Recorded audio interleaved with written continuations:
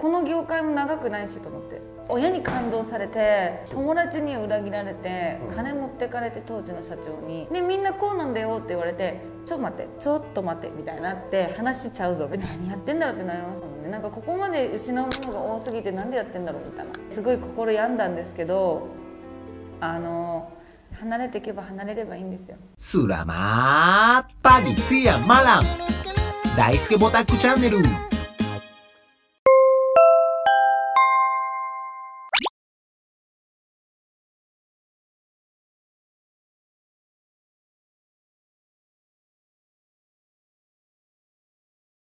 ここからディープにいきディープに行きますか？はい行きますよ、はい。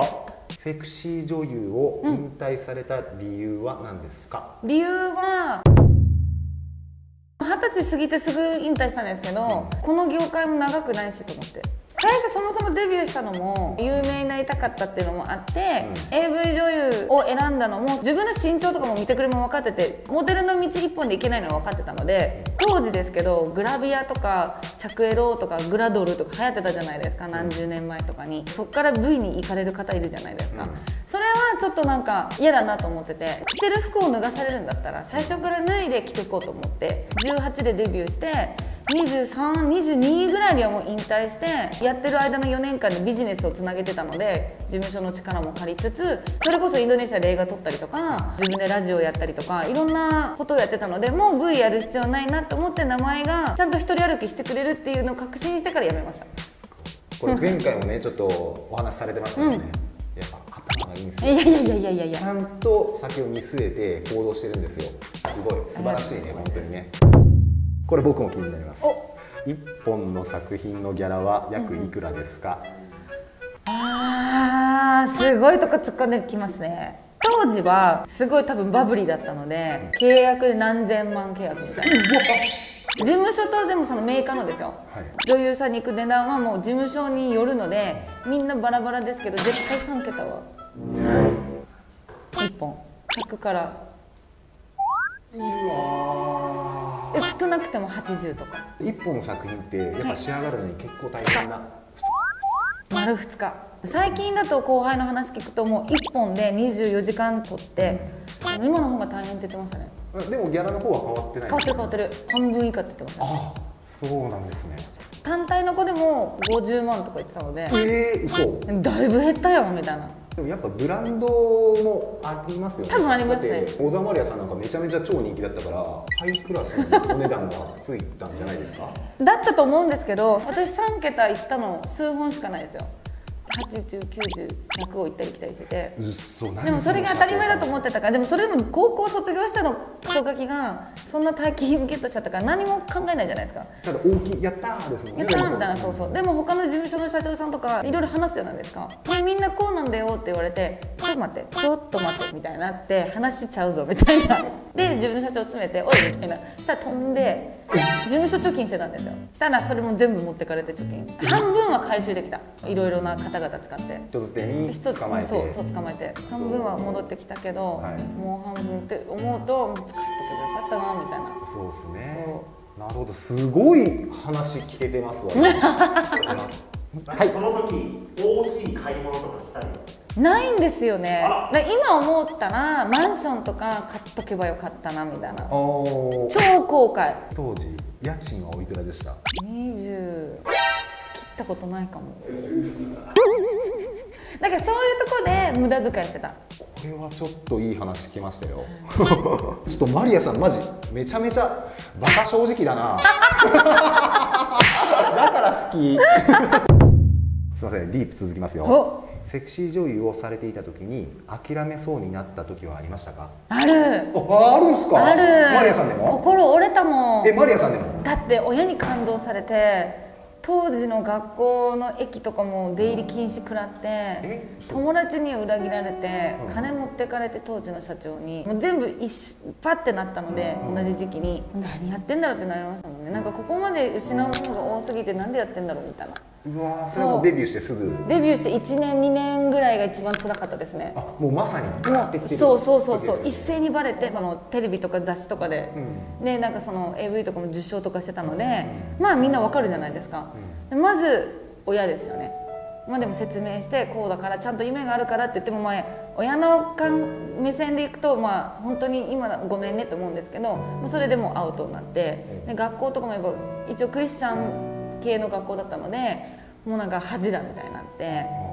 で友達とかもなんかマシンじゃないですけどすごい心病んだんですけどあのそこで諦めてたらせっかくやめたやった意味ないし失ったものは本当に失ったままで終わっちゃうのでそれをなんかみんなの考えを変える勢いでもう突っ走ろうと思って突っ走った。いいんです。離れていけば離れればいいんですよど、うん。なるほどなるほど。わかりました。そこ辛かったかな？です。いやすごいね。やだディープ。うんすごいちゃんとしたねこういうね辛い思いもあって今があるというか。はい。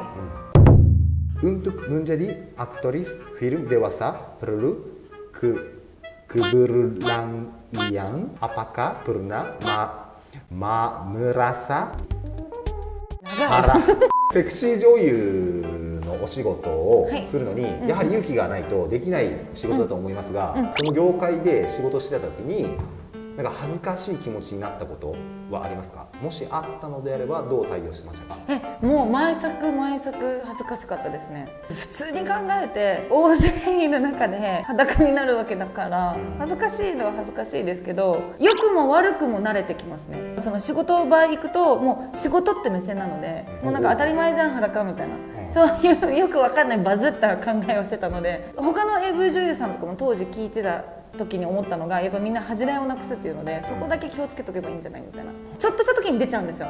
例えばじゃあ温泉行きますグループで。風の子やってた子たちって普通にタオルなしでこう歩いたりとか普通の子しないじゃないですかそれ。だから普通を忘れるなみたいな。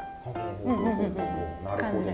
それはずっと思ってましたね。そうそうそうそう。なるほど今でも仲の良いセクシー女優のお友達はいますか？いますいますいます。ほとんど引退しちゃってもう田舎に帰ったりとか海外にいたりとかいるのでそんな会ってはいないですけど何人かいますね。今でも本当に普通にご飯食べに行くのは青木凛ちゃんとか。おお！おりんりんはマジで仲いい。あそうなんうんうんですね、うん。うわ青木凛さんもインドネシアで結構人気なんですか、ん。お人気な方おなんで人気同士で。コラボしましょいややばいねいい。っうはいすね聞いとく聞いとく。あえマジです約束はできないですよ。はい。けど聞いとくことはできる。大丈夫。え結構して16時る36あマジで？じゃあちゃっちゃか行きちゃましょう。っちゃちゃっちゃか行きましょう、はい Ketika masih aktif, apakah punya pacar? セクシー女優の時、彼氏はいましたか？正直。はいいた。おお、いた。ずっといた。じゃあやっぱ心のメンタルを支えてくれる人いないとできないのでそれを理解してくれる人を探すのはめちゃくちゃ大変で困難なので一回付き合ったらもうずっと長かったですね。人数は少ない。今まで付き合った人で本気でちゃんと付き合った人は3人？4人？3.5うん3.5ほんまご気になる 天候が気になる天候気になるわ。じゃあ全然恋愛はされてたんですね、セクシー女優の時は。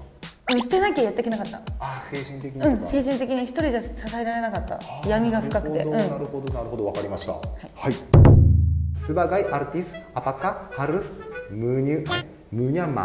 Sebagai artis, apakah harus menyu eh, menyamar eh, menyembunyikan wajah セクシー女優時代、プライベートで出かけるときに顔を隠したり変装はしてましたか、変装はしてないですけどキャップ深くかぶったりとかマスクしたりとか。でも顔を刺されますよねすぐですすぐよね。すぐバレてましたね。家も一回バレたことあって夜中にピンポンピンポンなってえってなるじゃんでなんかえちょっと待ってモニターずっと見てて誰なんだろうで結構暗くてなんかわさわさしててあのモニター上が。えなんだろうとか思って見たらだんだんだんだんその影がはっきりしてってはっきりしてて人の顔になっててだんだんおじさんがなんか立ってて「キャー!」みたいな速攻電話してマネージャーに「明日引っ越す」みたいな。超怖かったですね。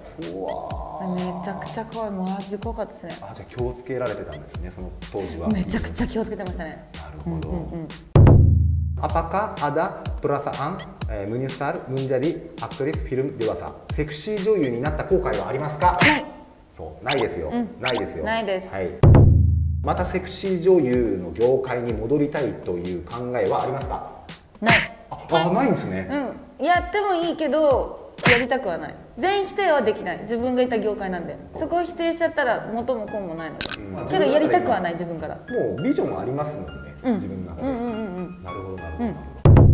今はすでに自分の夢を達成した気持ちはありますか？それともまだ達成はしていませんか？半分。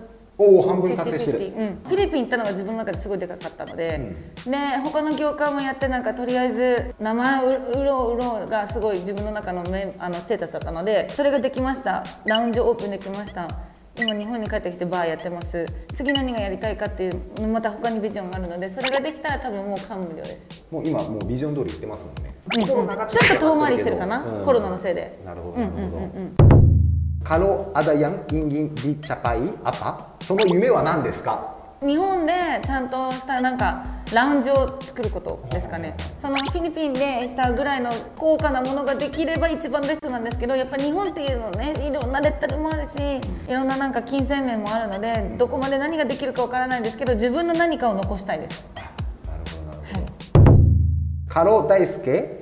大輔が小沢マリアさんに愛の告白をしたら受け入れる？えー、突然ですか？突然。いきなり「別にその I love you」って言われたら「い。や、はいノー」ってなりますけど、はい。なんか家庭があれば。家庭があれば、うん。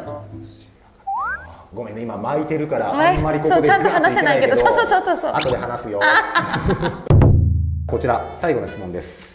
アパカスカランバハギヤ今は幸せですか？幸せです。おおよかった。それが一番いい。ハッピーガールです。ハッピーガールですね、はいまだねコロナが収束して、うん。また仕事の方も順調にねうまくいくことになって、そうまあ、さらに幸せになればというね、うん。そうそうそう。なるほど。以上でございます。